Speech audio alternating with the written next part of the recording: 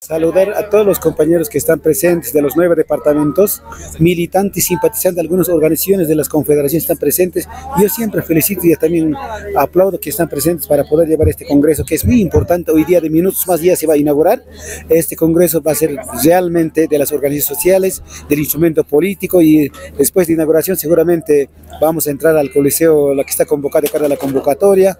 Entonces, legalmente cumpliendo el estatuto orgánico, también la convocatoria de eso, no podemos alterar por ningún motivo, sino se va a cumplir. Yo estoy muy contento y feliz también como comité político que hemos convocado también, y también gracias por la participación de todos los compañeros militantes y simpatizantes presentes, ¿no?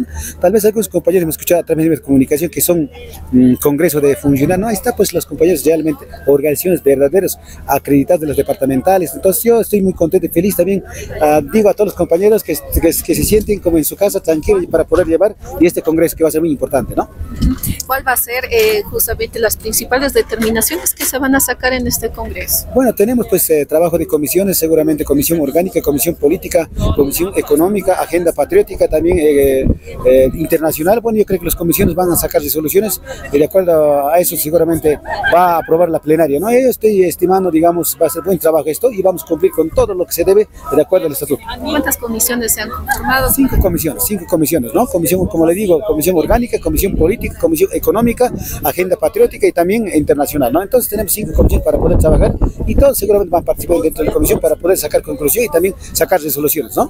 ¿Cuál es el mensaje que se da con este importante eh, congreso?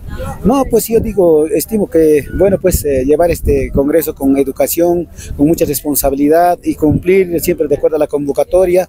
Bueno, pues eh, yo digo felicidades a todos los compañeros que están presentes y yo creo que nos va a salir bien este congreso.